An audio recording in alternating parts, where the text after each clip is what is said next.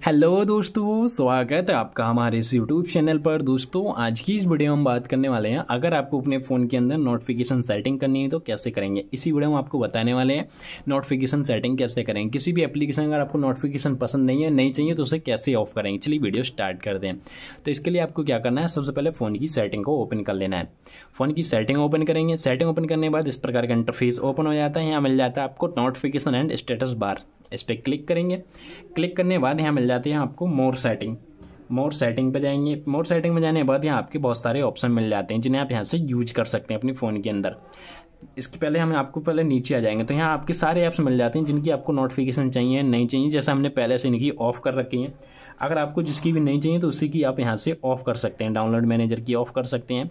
जिसकी आपको नहीं चाहिए, वो आप यहाँ से हम लिंकडिन की जैसे इसे हम ऑफ़ कर देंगे। तो इसकी आपको कोई भी नोटिफिकेशन देखने के लिए नहीं मिलेगी, जिन्हें हम ऑफ़ कर देंगे।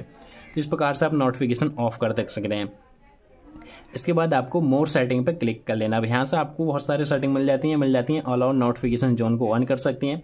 ये जो बबल्स वाले इसे ऑन कर लेंगे। इससे क्या होता है, आपके पास जो भी नोटिफिकेशन आएँगी, जिस भी एप्लीकेशन पे तो उस पर आपको एक डॉट देखने के लिए मिल जाता है। नेक्स्ट फीचर मिल जाता है नोटिफिकेशन हिस्ट्री इसे आपको ज़रूर से ऑन करके रखना है।